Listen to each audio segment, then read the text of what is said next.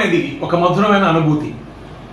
ప్రేమను వ్యక్తపరచడానికి ప్రపంచ భాషల్లో చాలా చాలా పదాలు ఉన్నాయి ఏంటండి ప్రేమ పాఠాలు చెప్తున్నా అనుకుంటున్నారా? కాదు ఆంగ్ల పాఠాలు.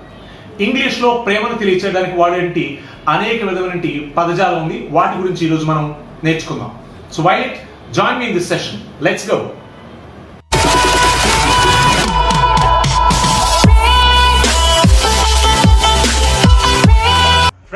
ఈరోజు ఈ రోజు ఎదుటి వారి మీద ఉన్న మన అభిప్రాయాన్ని తెలియజేయడానికి వాడేటటువంటి ప్రేమతో తెలియజేయడానికి వాడేంటి కొన్ని ఇంగ్లీష్ ఫ్రేజెస్ గురించి తెలుసుకుందాం. Thirteen love phrases in English. Let's begin the first one be head over heels in love అంటే తెలుగులో మనం సహజంగా చెప్తుంటాం మోకాళ్ళ లోత ప్రేమలో పడిపోయారు అంటారు తెలుసు కదా? మోకాళ్ళ లోత ప్రేమలో అంటే పీకల దాకా మునిగిపోయి ఉన్నారు వాళ్ళిద్దరు ప్రేమలో అంటాం. సో దాన్ని ఇంగ్లీష్లో be head over heels so ప్రేమలో విపరీతంగా మునిగిపోవడం. రెండవది fall in love with somebody ఇతరులతో ప్రేమలో పడిపోవడం. I have fallen in love with Geeta so గీతతో నేను ప్రేమలో పడ్డాను. I have fallen in love with learning English English నేర్చుకోవడం అనే విషయం మీద నేను ప్రేమలో పడిపోయాను. సో ఈ విధంగా మనం to fall in love with somebody somebody or something కూడా అవ్వచ్చు. Next third one to be an item be an item అంటే విపరీతంగా వల్ల మాలిన అభిమానం చూపించడం ఒక వ్యక్తి మీద. అలాంటి ఫ్రేజెస్కి మనం బీ అన్ ఐటమ్ అంటాం. Say for example Geeta and Rahul are working in the same office they are an item for each other అంటే ఇద్దరు ఒకే ఆఫీస్లో పనిచేస్తున్నారు ఇద్దరు ఒకరితో ఒకరిలో ప్రేమలో ఉన్నారు అని అర్థంలో వాడవచ్చు అలాగే fourth one be lovey dovey ఇది ఎక్కువగా అమెరికన్ ఎక్స్ప్రెషన్ స్లాంగ్లో ఎక్కువగా వాడతారు. బి లవీ డొవీ అంటే బహిరంగ ప్రదేశాల్లో ప్రేమను విపరీతంగా ఎక్స్ప్రెస్ చేయడం అంటే యాక్చువల్లీ ఇంట్లో కొట్టుకోవచ్చు కానీ బహిరంగ ప్రదేశాల్లో విపరీతంగా బంగారం చిన్ని తల్లి అని విపరీతమైన ఎక్కువగా వ్యక్తపరచడానికి ప్రేమని ఓవర్ లవ్ అన్నమాట. అలాంటిదని మనం బి లవ్వీ డవీ అంటారు స్పెషలీ పబ్లిక్ ప్లేసెస్లో. సో బి లవ్వీ డవీ అంటే to express one's love specially in the public places the fifth one uh, to be smitten with someone. To be smitten with someone అంటే ఒకరు పూర్తిగా వాళ్ళ మాయలో పడిపోవడం. వాళ్ళు ఏది చెప్తే వాళ్ళ అడుగుజాడల్లో నడుచుకోవడం. ఏదో సహజంగా మనం తెలుగులో చాలా మంది అంటుంటారు కదా ఏదో మందు పెట్టింది ఆ అమ్మాయి. అంటే దాని తన తన చెప్పు చేతిలో ఉంటూ ఉండటాన్ని దాన్ని మనం to be smitten with someone అంటాం అఫ్కోర్స్ అమ్మాయి కదండి అబ్బాయి అయి ఉండొచ్చు. Third one next six one to be someone's one and only one and only అంటే ఇంకా నువ్వే నా ప్రపంచం. మీరు ఒక్కరే నాకు. ఇంకా నేను మీరు తప్ప అందుకే నాకు వేరే ప్రపంచం తెలియదు అంత ప్రేమలో ఉన్నాను నేను మీతో అని తెలియచేయడానికి. తర్వాత seventh idiom to fancy someone ఒకరి మీద విపరీతమైన అభిమానం చూపించడాన్ని టు ఫ్యాన్సీ సమ్వన్ అంటారు. For example I fancy Aishwarya Rai I fancy Geeta I fancy Rahul so అలా చెప్పచ్చు ఐ ఫ్యాన్సీ అంటే విపరీతమైన ఇష్టం ఉంది. ఆ వ్యక్తి మీద నాకు వల్లమాన అభిమానం ఉంది అని చెప్పేటప్పుడు టు ఫ్యాన్సీ సమ్వన్ అనేది ఎక్స్ప్రెషన్ వాడతాం. అలాగే eighth idiom to have crush on someone to have crush on someone ఒకరి మీద మనసు పారేసుకోవడం ఓకే ఒకరి మీద మనసు పారేసుకోవడాన్ని I have a crush on someone అంటాం. యాక్చువల్గా ఈ ఎక్స్ప్రెషన్ మనం వ్యక్తుల మీదే కాదు వస్తువుల మీద కూడా. I have a crush on Pulsar bike she has a crush on this particular item he has a crush on so many things so crush అంటే ఒక దాని మీద మనసు పారేసుకోవడం. అది వస్తువులు కావచ్చు లేకపోతే వ్యక్తులు కావచ్చు. That's called to have a crush on తర్వాత under someone spell under someone spell ఇది కూడా దీని అర్థం కూడా మాయలో పడిపోవడం. ఎదుటి వారి మాయలో పడిపోవడం. రాహుల్ మాయలో గీత పడిపోయింది. గీత మాయలో రాహుల్ పడిపోయాడు. Okay? Rahul is under the spell of Geeta. Geeta is under the spell of Rahul. So ఆ విధంగా under the spell of Rahul or under the spell of someone అంటే వాళ్ళ మాయలో పడిపోవడం పూర్తిగా. స్పెల్ అంటే మాయా అన్నతో తర్వాత పదవ idiomatic expression have the hearts for someone have the hearts for someone అంటే ఒక వ్యక్తి మీద విపరీతంగా ఇష్టం కలగడం. విపరీతంగా ఇష్టం కలగటాన్ని మనం have the hearts for some I have the hearts for Geeta. So అంటే అర్థం గీత మీద నేను మనసు పారేసుకున్నాను. విపరీతమైన అభిమానం ఉంది ప్రేమ ఉంది అంటే అర్థంలో ముఖ్యంగా హార్ట్స్ అంటే ఒక వ్యక్తిని హాట్గా మనం చూసినప్పుడు ఎక్కువ ఈ పదం ఈ ఎక్స్ప్రెషన్ మనం ఎక్కువగా వాడుతుంటాం.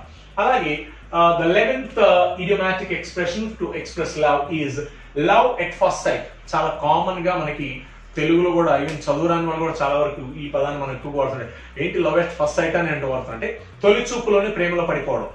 మొదటిసారిగా ఒక వ్యక్తిని చూసిన వెంటనే మనం ప్రేమలో పడితే లేకపోతే ఒక అభిప్రాయం లేదా ఒక అభిమానం డెవలప్ చేసుకుంటే we call that as love at first sight. I have fallen okay mind is a love at first sight with Pallavi. So love at first sight. విపరీతంగా మొదటిసారి చూడగానే ప్రేమలో పడిపోవటం లవ్ ఎట్ ఫస్ట్ సైట్ అంటారు. తర్వాత the twelfth idiomatic expression to express your love is main squeeze main squeeze అంటే నువ్వు మాత్రమే నాకు ముఖ్యం ప్రపంచం ఇంకెవరు నాకు అవసరం లేదు అనేటటువంటి ఒక ఎక్స్ప్రెషన్ తెలియజేయడానికి మనం మెయిన్ స్క్వీజ్ అనేటి ఇడియోమాటిక్ ఎక్స్ప్రెషన్ వాడుతూ ఉంటాం. ఇది సహజంగా చాలా సార్లు చూసాను పెళ్ళైన తర్వాత చాలా మంది అబ్బాయిలు ఎక్కువ వాడుతుంటారు. అంటే పెళ్ళైన మగవారు ఎక్కువ ఇంత ఎలాంటి ఎక్స్ప్రెషన్ నువ్వే నా ప్రపంచం నువ్వు తప్ప నా జీవితంలో వేరే ఎవరూ లేరు అనేంటి ఎక్స్ప్రెషన్ ఎక్కువ చెప్తుంది. Then we can say you are my main squeeze you are my main squeeze honey you are my main squeeze honey అంటే భర్తను భార్య భార్యను భర్త. హనీ అనే ఎక్స్ప్రెషన్ ఇంగ్లీష్లో పిలుచుకోవచ్చు అది కూడా ప్రేమను తెలిపే ఒక పదమే. Honey you are my main squeeze అంటే ప్రియా నువ్వే నా జీవితం. నువ్వే నా కళ? ఇక నువ్వు తప్ప నా జీవితంలో వేరే ఎవరు లేరు. నువ్వే నాకు ప్రధానం అనే విషయంలో మనం మెయిన్ స్క్వీజ్ అనే పదం వాడతాం.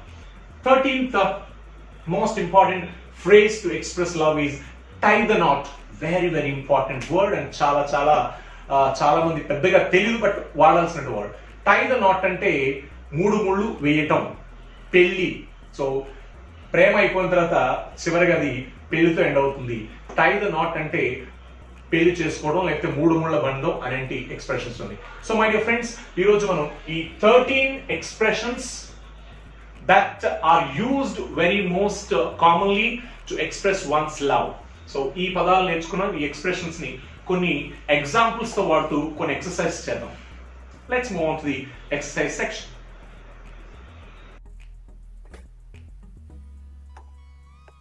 Exercises on love idioms. Be head over heels in love. మోకాళ్ళ లోతు ప్రేమలో పడిపోవడం example look at them they are head over heels in love with each other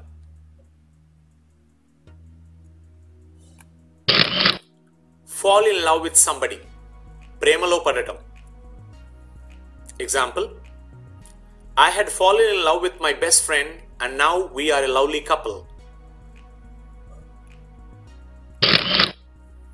couple. Be an item.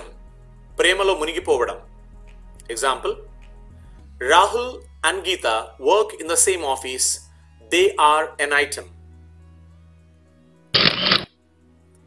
be lovey dovey ప్రేమను విపరీతంగా బహిరంగ ప్రదేశాల్లో వ్యక్తపరచడం example I don't want to go out with grandparents.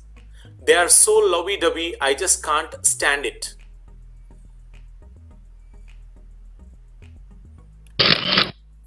to be smitten with someone. Vallamalin Abhimanam.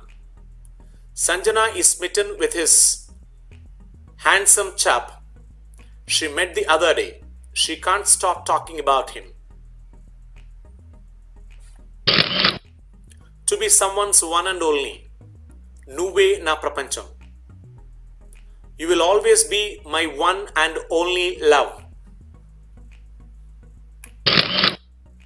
To fancy someone British English పిచ్చి పిచ్చుగా ఇష్టపడటం. Example my friend really fancies you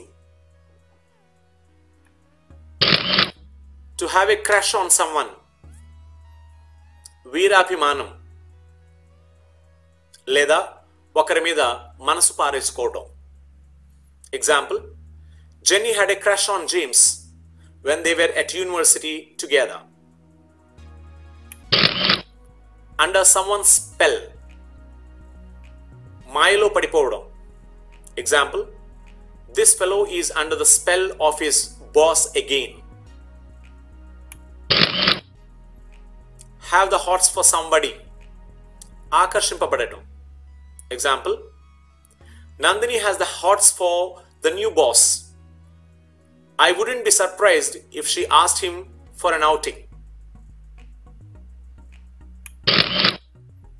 love at first sight తొలి చూపులోనే ప్రేమలో పడటం example I had met my wife at a friends party and it was love at first sight for us main squeeze నువ్వే నాకు ముఖ్యం example don't be angry as I will never fall for any girl you are my main squeeze tie the knot మూడు ముళ్ళు వేయటం పెళ్లి చేసుకోవడం example when are you and Jenny going to tie the knot